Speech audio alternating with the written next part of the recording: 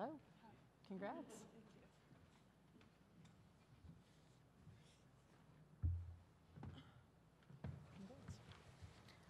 All right. Let's go ahead and get started with introductions. It's my pleasure to welcome to the dais Creighton head coach Jim Flanery, as well as student athletes Morgan Maly and Tatum Rembao. Good, you got it. Thank you. Uh, Let's start with an opening statement, please, Coach. Yeah, this team just continues to amaze me, and um, we're so proud of, you know, how they've grown, what what kind of fight that they have, and and how they play for each other, and just couldn't be more proud of them. The the growth that we've seen. Um, you know, I told a lot of people we were we were four and eight at the end of January a year ago. We had won four games, and we had had obviously a lot of COVID but it started last year. I felt like we, we really got a lot better. People like Morgan, who were freshmen, um, got, got experience, and we got in the NIT. And, uh, you know, I just, we came back hungry, and uh, we didn't get out of the blocks. We lost two of our first three. Um, but, uh, you know, we've been a good practice team. And I think when you, when you practice well, and we've been healthy, I think that's a huge part. We've, we had, we had, we've had a really good practice situation this year in terms of people being healthy, and, and I think when you do that, you can get better. But, uh, you know, uh, Iowa State, uh, congratulations to them. They had a, a, great year. They're a great program, a tremendous team. We have a lot of respect for them. Uh, but, uh, you know, about these two, you know, somebody somebody referenced Morgan as a as a bench player the other day, and I said that's kind of an insult. I know, I know she was sixth player of the year, but she's she's not a bench player. We just don't start her, but she's on the floor a lot. and uh, and then Tatum was incredible tonight. I mean, you know, um, the the third quarter, uh, her confidence and, and and her ability to make the plays that she did really kind of flipped the game. I felt like we had a, we had a good run at the end of the second quarter to get ourselves in at, into a tie at half, and I felt that really helped us. But uh, you know, we're gonna we're gonna get ready for South Carolina uh, starting in the morning, and and uh, we're gonna swing away. We're gonna we're gonna prepare the right way, and, and then we're gonna come swing away Sunday night. As a reminder, we're going to start this first portion of the Q&A for the student athletes only. If you have a question, please let us get a microphone to you, give us your name and affiliation and who your question is directed to. We're going to start over here on the far left side, third, uh, fourth row.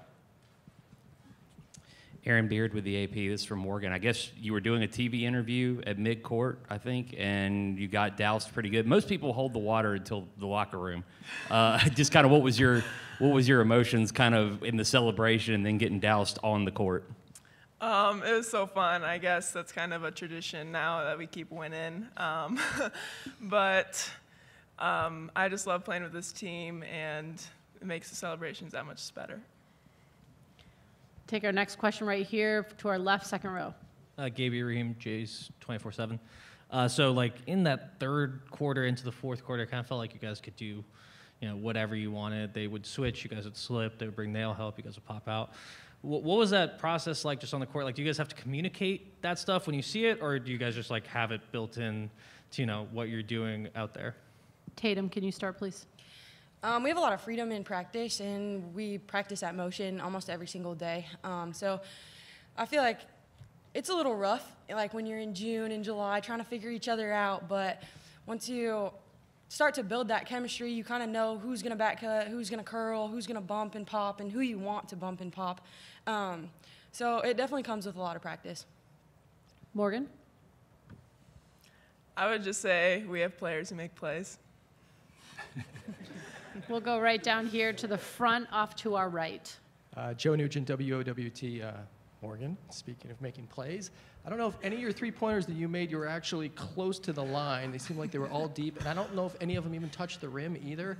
I mean, how did it feel? I mean, you were ready to let it go. Yeah, um, that's kind of what I'm used to, just coming in off the bench, just letting it fly. Um, my teammates got me great looks. Um, just kind of read the defense and you know, once the first one or two go down, uh, it gives me a lot of confidence to keep letting it go. Move back over here to our left, third row. Ellie French with KETV. Um, Tatum, obviously, this is your last season, and that's getting it's it getting extended now. Uh, how does that just feel? I cannot be more grateful that this season has gotten to be extended two more weeks um, just from the Big East tournament. And um, these girls have made it so worth it on and off the court. They're definitely my best friends, and I wouldn't want to go through this with anyone else. Okay, we'll go back to our left a little further back. Andrea? Andrea Adelson with ESPN.com. As the final seconds were ticking off, can you just describe your emotions? I mean, the parents and fans behind me were crying. What was it like for you guys? Morgan, you start. Um, it's just unreal. It, this whole, the past two weeks hasn't felt real, but um, it's been amazing, you know, to have that lead going into the fourth quarter and do enough to stick it out and have Tatum make great, um, make those free throws at the end and defensive stops uh, were huge. Um, this is just a great experience. Come back down again to the uh, second row on our left. Uh, so after you guys lost in the in the Big East tournament, you know, did did you think this was gonna happen? Like, what was your mentality then, and, and how did it take you to now? Tatum, you start. That loss hurt um, in the Big East tournament. It's really hard to play a team three times, but that was definitely a game that we shouldn't have lost. And so I think everyone came back from spring break really eager and really ready to go because we know how good we are and we knew how good we were back then. Um, so I think we had to change our mindset a little bit to prepare ourselves a little bit better. Morgan? Yeah, that one stung, but um, I think we came back stronger and we really dialed in on you know what each of our roles are, and we just kind of focused on meshing and making a run because we knew that we could. Let's go back up to Andrea. Tatum, as a quick follow-up to that, your parents and, and family were very emotional. Can you just describe what it means for this program, this fan base, everybody associated with the magnitude of this win? Our parents are amazing. Um, as you guys can see, they travel so well, and they all stay at the same hotel, and they all go out to eat before the games, and they hang out after the games. Um, so it really is just one big family here with a lot of love. Take our last question for our student athletes right here in the third row, a little off to our left. Hi, this is for both of you guys. It seemed like around, I want to say like the middle of the third quarter, you guys went on a little run, forced Iowa State to call a timeout. You guys were celebrating and really hyped up as the timeout was called. You're going to your bench. At what point in the game did you guys really like smell blood in the water? Morgan? I would say, yeah, in, in the middle of the third quarter, um, we had our offense is working really well, and a lot of people step up and hit a lot of hit some shots, um, and we um, started rebounding the ball better on the defensive end, and that was, I think, kind of how they hung in the game, uh, second chance points. Um, so yeah, right around there. Tatum, the last word's yours. I feel like we're an emotional team and we're going to celebrate who deserves to be celebrated. Um, so when someone hits a big three and we go into a timeout, we're going to show them all the love. Congratulations to both of you. You guys can head back to your locker room. We'll see you tomorrow. Thank, you. Let's go ahead and start the Q&A with Coach. Again, give us your hand. We'll start over here.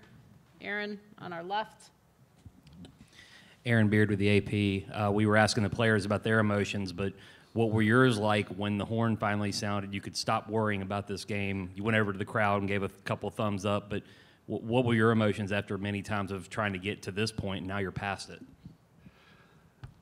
Yeah, it's uh, I don't know. I just I I've enjoyed this team so much that it's you know I told him you know you want to keep advancing because that's the goal, but I also want to just keep coaching this team. So that's kind of what I was thinking. Is just I just love coaching this team because I never you know it's different people, different nights. Like I said, I mean. You know, we had 30 bench, you know, bench points tonight, and that's typical of us. We don't, you know, it's you know Emma Ronsiek's our leading scorer, and I didn't play her in the fourth quarter tonight. And uh, you know, when because I didn't trust her, it was because I trusted some other people. Payton Brotzki, you know, was unbelievable tonight. I thought she was, she's played the best basketball of, of her career this year. Um, um, and, uh, you know, we just have different people. You know, Molly Mogensen, I thought, uh, was, was really solid.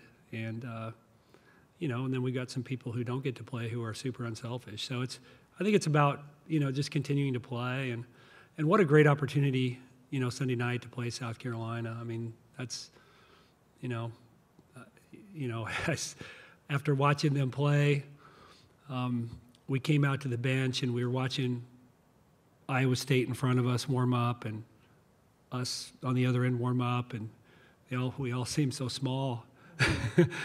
I was like, they're both playing. You know, it's just it's it'll be different. I mean, we'll have to we'll have our work cut out for us, but uh, just the opportunity to keep coaching and just so grateful.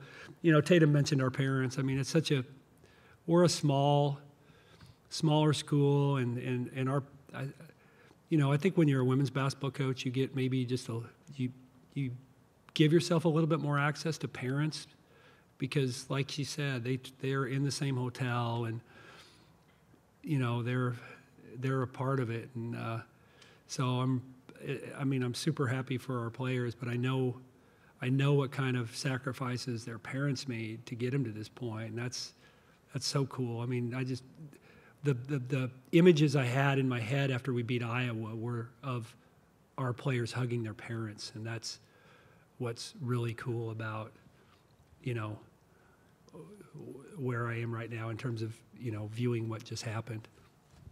Go take our next question on the other side of the aisle, about six rows back. Andrea Adelson with ESPN.com. Can you just describe the composure of your team late in the game? Iowa State's battling back. You make your free throws and you're able to seal it. Uh, better than their coaches.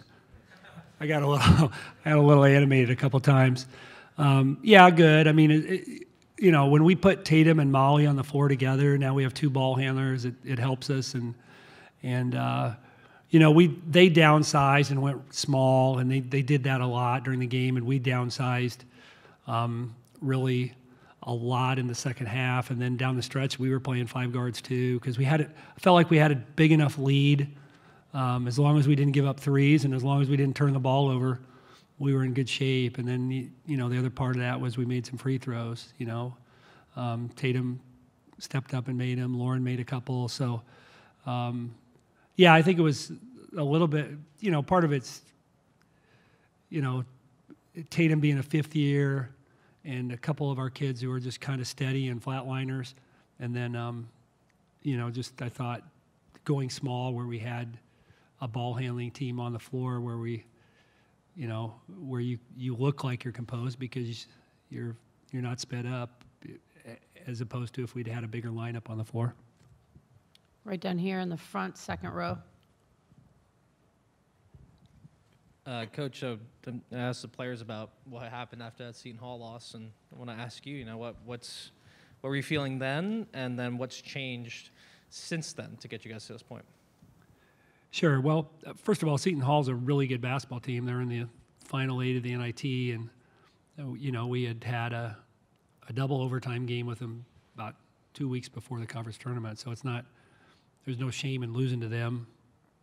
Um, but I, I don't know. I think the newness of the tournament helps. I, I really believe we're you know, from a style standpoint, we're just a little different. I mean, you know, when you talk about what we what we do on offense, we're we're we're a little different than what most people see, and I think that helps us in a in a tournament format where they only have X number of days to prepare, and they're trying to find, you know, film maybe of teams that, you know, play like us, and and so I think that's helped us. And once you win one, your confidence is is for sure greater. So I mean, we've had we've had three tight games, and so so there's some good fortune in winning too. It's not, you know, the Colorado game was tighter than the final score.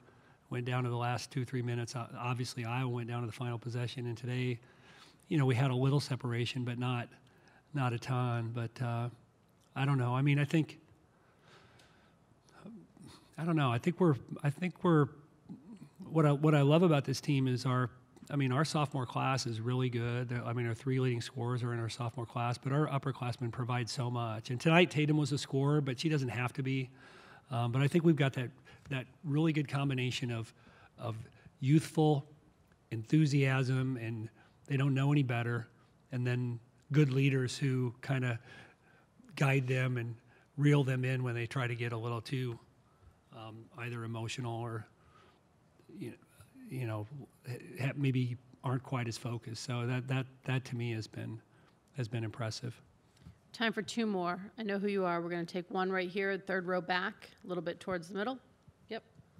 Thanks. I was, forgot to identify myself. M. Adler with the next. Um, I just want to. So Iowa State infamously has a unique fan environment for their games. Yeah. Especially the, these kinds of games. Is there a way you m- mentally or emotionally prepare your players to, to deal with that and play through it? Well, it certainly helped us to play in Iowa City last weekend in front of 15,000. So I think that was a was a, a help. And I, you know, I thought it was great. A lot of the South, I know North Carolina men played right after their women, so I didn't see a lot of Carolina blue. Um, but uh, I thought a lot of the South Carolina fans um, stayed around. That was nice. I thought the atmosphere. I thought that helped make the atmosphere. But yeah, I mean, Bill's done an incredible job at Iowa State and what the, what they've built in terms of the success of the program and and and how they draw and how they're supported um, is is is really impressive. So we, um, I don't know, but our players have have have been in that environment some, and and I just think they we were ready to play. Last question on the aisle over here. Flan, it was a tie game at the half. What was your message to the girls before they went back out on the court? Yeah, that that uh, that we can play better. Like I, you know, I felt like we turned the ball over too much in the first quarter, and then the second quarter we didn't defensive rebound, and so I know that uh, I think we had five turnovers in the first quarter, ten for the game. So much better job the last three quarters, and then we gave up eight O boards. Offensive boards in the first half and only three in the second half. So we I, we cleaned those up, and that's what I said. I said we we're tied and we we can play better. We can play you know quite a bit better. I said we're you know and, and the nerves are hopefully a little bit behind us, but you know and I felt I mean Iowa State probably felt like they could play better too. They missed some open threes in that first half, but uh, yeah, it was. I mean, other than that, it was it was just a few tactical things, but you know a few things that they were running that that that we didn't defend very well, and you know just trying to get them to slow down a little uh, offensively. But I thought we had done that in the second quarter much better than the first. Thank you very much. We'll see you tomorrow. Thank you. Sounds good.